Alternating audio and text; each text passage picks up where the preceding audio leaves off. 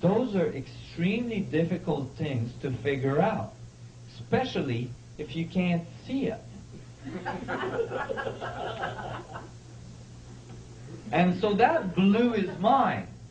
And he started to like continue to investigate and he found that there was some incredible mathematical recurrence in all of the measurements that he was taking. And that recurrence, these mathematics that kept on creeping up, were always the same. And they and he figured out that they were pointing out to the mathematics of a sphere and a tetrahedron embedded in it. And that's why he put that graphic in his paper, saying that if these people were trying to communicate something to us, they were trying to tell us about a sphere and a tetrahedron. He didn't notice, though, that even that city, right beside Mexico City, that ancient city, is exactly at 19.47 latitude on the Earth as well. So not only does it have the mathematics of a tetrahedron in a sphere in all of its layouts, but as well it is placed on the Earth exactly where a tetrahedron would intersect a sphere. What's the, what's the third point? Well, this is this is a grand circle, you know, all around the all around the Earth. So depending on where you put this point, these other points will move, right? But if you put this point at uh, the Big Island of Hawaii, then this uh, then um, uh, Mexico City is somewhere in the middle here, in between these two points. This one is near the coast of Africa, I believe and then this one is India. The Daikini temples in India.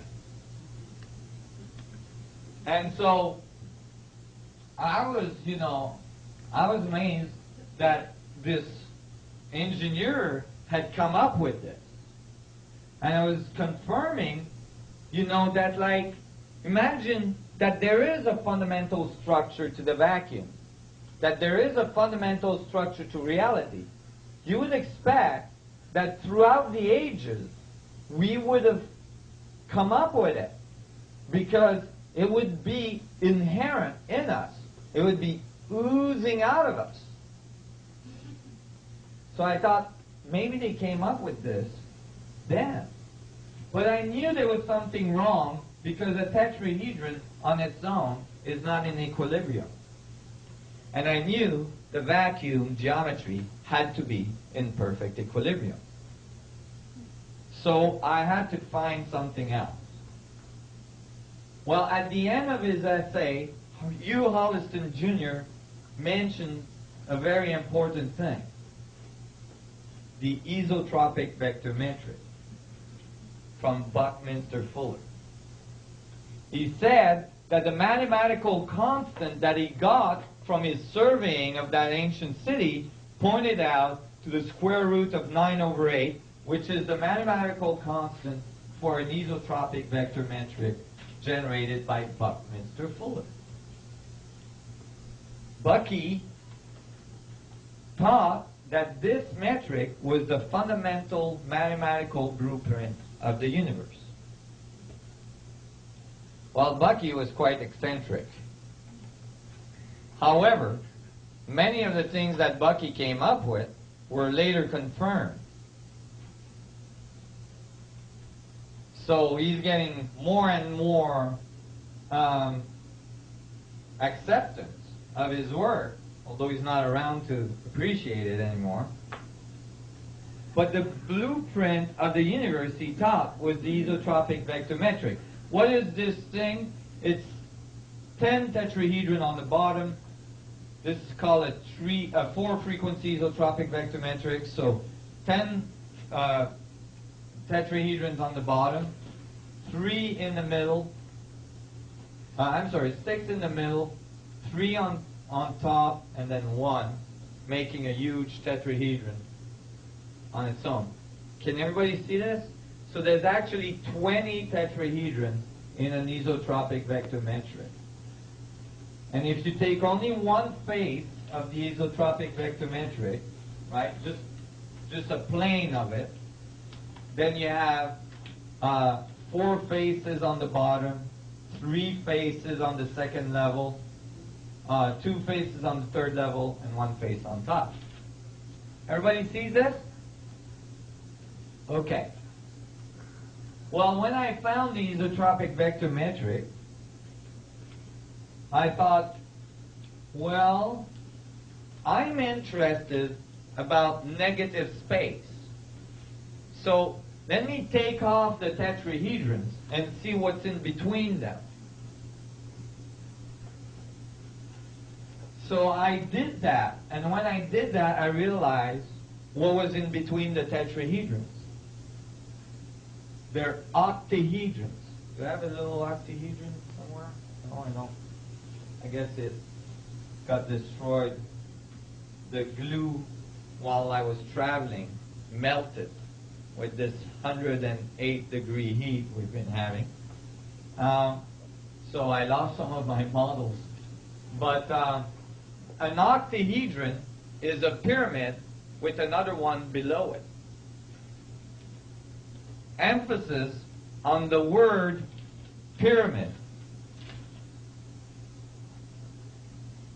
So I was happy to find that the pyramid, the pyramidal geometry was present between the tetrahedrons. Can everybody see how an octahedron is two pyramids base to base? If this is one point of the pyramid, then the base is here, and it's a square base. Looks rectangular because it's in perspective. And the other point is here. Right? Two pyramids base to base. There is a bunch of them together, but when I did this, I realized there was something weird. There was something weird in the middle of the metric. Because the metric is called isotropic. So you would expect that it would be always um, in balance, that it would always be in symmetry. But there was a symmetry in the middle. I found four reverse tetrahedrons pointing down and rotated 180 degrees. And they didn't belong to the octahedron, and they didn't belong to the tetrahedrons that made up the outside or the metric. So there was a bunch of these, there was four of these tetrahedrons completely out of place, creating a symmetry in the middle of symmetry. Now I knew this had to be incomplete. Because if this was the fundamental structure of the vacuum, it had to be isotropic and symmetric so that you would have perfect equilibrium. Oh, there's an octahedron. Thank you. Ooh, nice. Q-tips. Thank you. Appreciate. Q-tips with what? Honey? Rubber cement. Rubber cement. Here's an octahedron. And so when, uh, yeah, that, that wouldn't melt as well. Oh, that's good. Because I used to do it with marshmallows, but then people would grab the marshmallows and eat them. And I lose my model. But anyway, so um, the, uh, the isotropic vector metric had to be modified. I didn't know how. One thing I was sure of is that the universe is polarized, so that it had to be two. Okay? Now, if you have a polarized universe, and you have two isotropic vector metrics, and they're mirroring each other, you have a problem. Because the two mirroring each other, base to base, don't make a sphere. Remember fundamental